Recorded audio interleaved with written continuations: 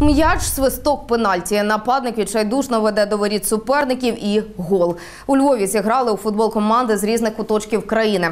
Учасники були віком від 10 до 16 років. Хлопці з усіх сил виборювали кубок для свого міста.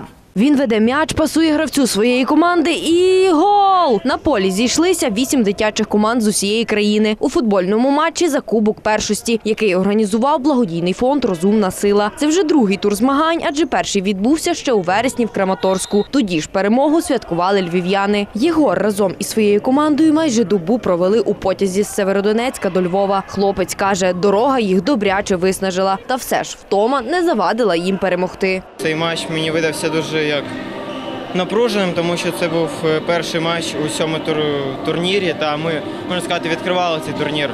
У команди було деяке переживання перед цим матчем, але ми зуміли справитися з ним і перемогли.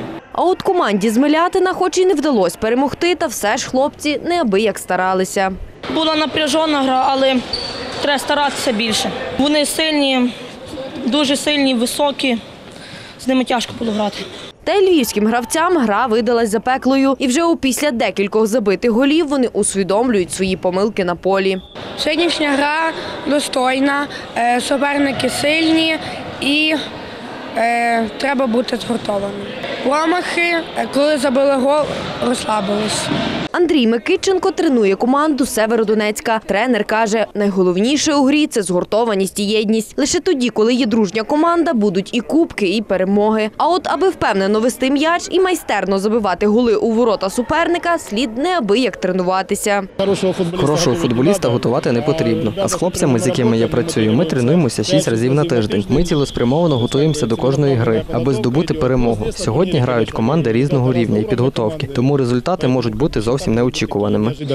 Організатори ж запевняють, мета була не лише зруйнувати вигадані політиками бар'єри між сходом і заходом України, а й заохотити юних українців вести здоровий спосіб життя і, звісно ж, грати у футбол. Адже хтось таки повинен стати новими Шевченками та Шовковськими. У нас така виникла ідея, е, щоб об'єднати дітей заходу і сходу. Тут присутні команди з Львівської області. Нам вдалося запросити команду з Донецької області, е, з Луганської, з Кіровоградської та з Київської областей. Для дітей це е, додаткове спілкування, це додатковий досвід е, е, і, і подорож. Нині спорт об'єднав схід і захід. На футбольному полі не було політики, питання мови чи менталітету. Кубок першості додому повезла команда з Луганщини. Наступний третій тур змагань відбудеться у місті команди переможця. Оксана Павлишин, Юрій Кісь. Правда тут.